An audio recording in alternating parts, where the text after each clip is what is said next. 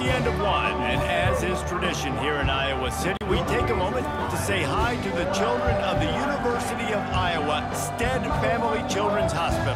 Hello, kids.